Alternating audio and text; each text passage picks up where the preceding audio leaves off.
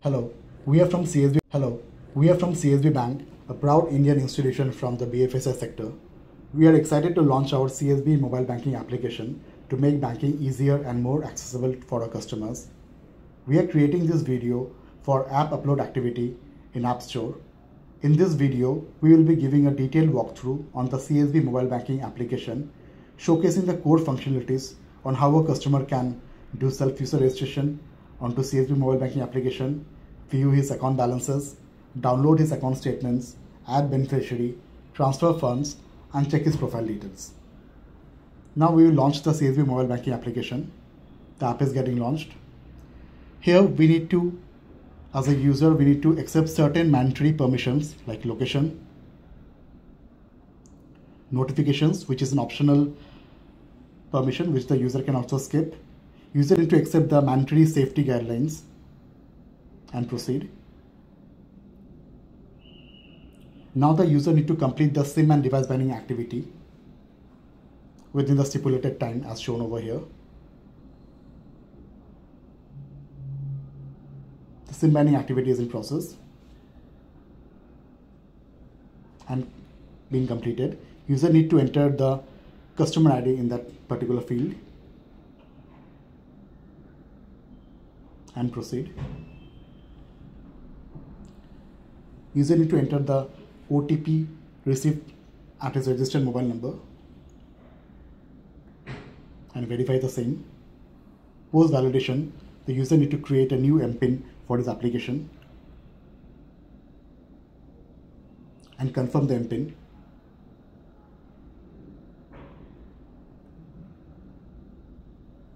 and create the new MPIN. Now the user need to link his biometric to the application. User need to allow the Face ID permission. And the user has successfully registered for CSB mobile banking application. Now the user will go to the login page and enter the already created MPIN to proceed to the dashboard.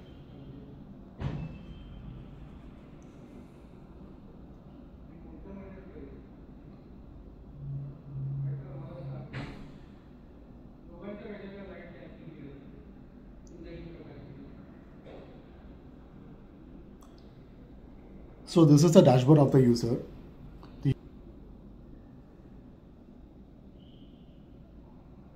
And here you can see the current balances of his account. User can also view the last statements, last statement transactions for his account under the mini statement module. Now the user will do a fund transfer activity.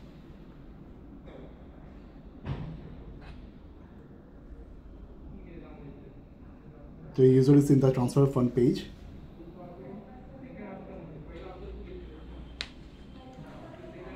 Now to proceed with the fund transfer activity, user need to complete the financial authentication process. To complete the financial authentication process, user has certain parameters to verify, that is debit card details, Aadhaar details, and the net banking credentials.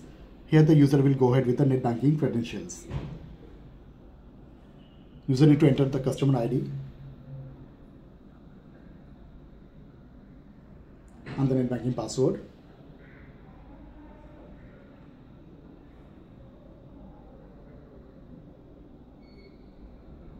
and verify the details entered. Now as you can see the authentication has been made successful. Now the app will log out and user need to log in again.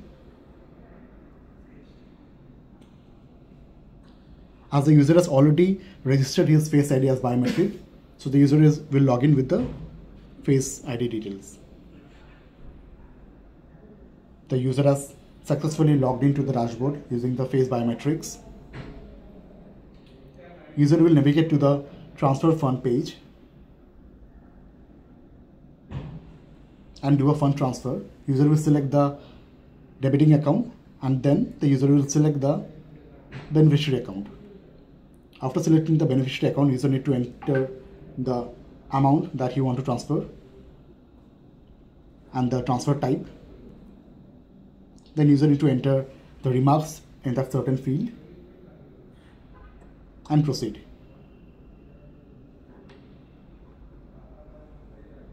This is a review page where the user can review the details that has been entered by him. User can now confirm this page. Now the user need to enter the OTP sent to his registered mobile number for authentication. Post entry of the correct OTP. User submits the transaction.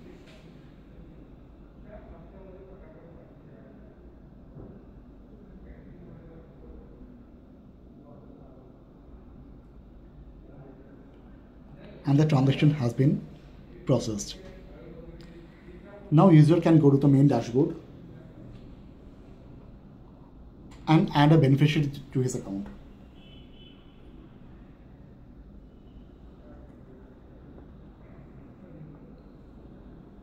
User has gone to the add beneficiary account.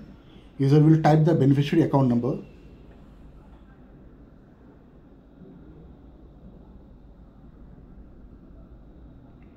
and reconfirm the beneficiary account number entered. User will select the account saving type and enter the IFSC code of the beneficiary. The IFSC code entered will be verified by clicking on the verify call to action button. Now user need to enter the beneficiary name and also enter a nickname for the beneficiary. After adding all these details, user is going to the next screen where he will review the details that has been entered by him. If found correct, user will proceed with the confirmation of adding the new beneficiary to his account. User may have received a OTP to his registered mobile number which he has to enter.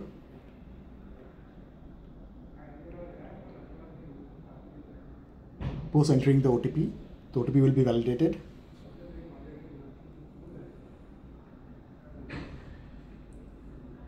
Post validation, the request for adding a beneficiary has been successfully completed. Now user will go to the main dashboard and download a statement for one of his account.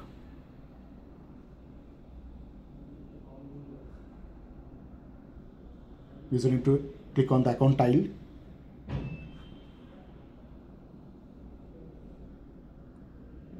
then user need to scroll through the transactions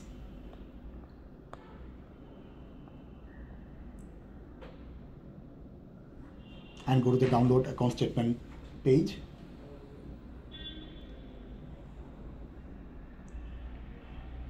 User will download the statement in the PDF format. The statement has been downloaded, which the user can open by entering a password protected file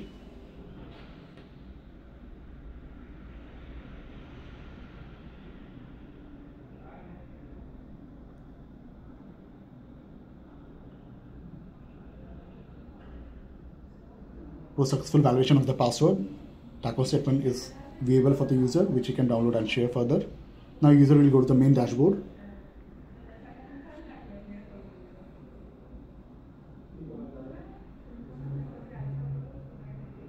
And the user will log out from the application.